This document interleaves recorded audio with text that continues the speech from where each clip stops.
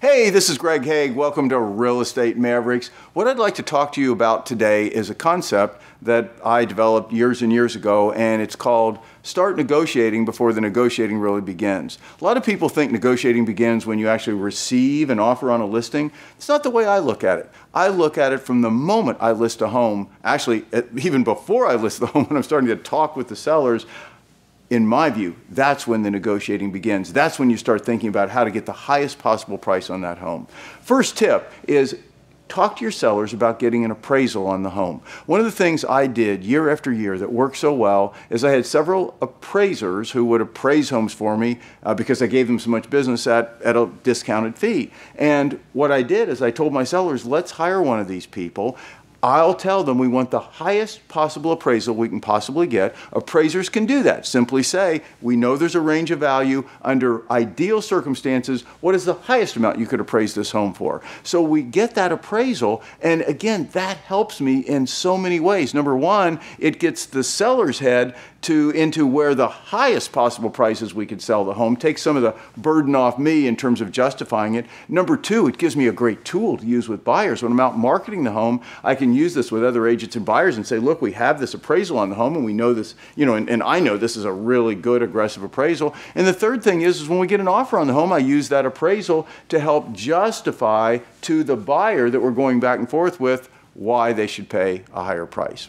Next tip Know when time's on your side and when it's not. One of the things that's so important, you never want to list a home without doing that, and that is to talk to your sellers that, and, and, explain that the first offer is often the best offer, that time's working against them. The more time on the market, the lower any buyer is going to be, be motivated to make an offer. And so they want to not be in this mindset that if you do the job in like a week or 10 days into the listing, you get an offer on the home. You know, sellers sometimes think, oh gosh, I priced my home too low. You want to pre coach them the time you're listing the home that that's not the case, that these first offers are often the best. And I've had so many situations where a seller turned down an early offer and three or four months later we sat and we didn't see a thing. So you want to talk to your sellers about that. Third tip is you want to arm your sellers, arm your clients with information that's going to help you get the job done. That is, get an offer accepted when that comes in. You see, as you know, almost any offer that comes in on a home, the sellers are going to want more.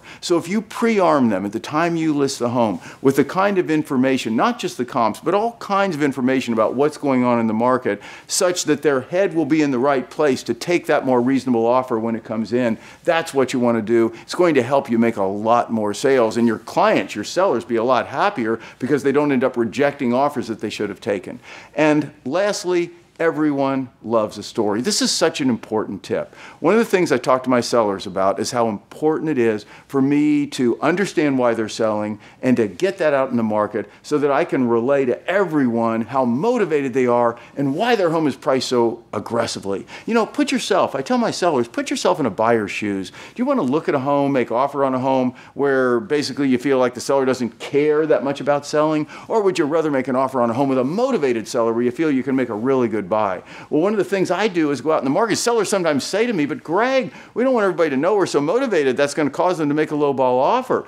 On the contrary, what I tell them is I push it out there in the market that you're so darn motivated to sell the home, and that's why you've priced the home so aggressively. That's why it's such an amazing deal. That's why every agent out there, you've got to get your buyers over to come and see it powerful, powerful power to use, the, to use a story, an amazing, remarkable motivation story, get it out to other agents, get it out to your buyers. It's going to incent people to want to see the home more, and it's going to incent people to want to make offers on the home. And once that offer process starts, that's when most people think the negotiating begins. But if you do what I just told you today, you're going to have that start at a much higher level and be much more likely to sell that home. This is Greg Hague. If you'd like more tips like this, come on over to realestatemavericks.com where we're writing the creative playbook on how you can win in real estate.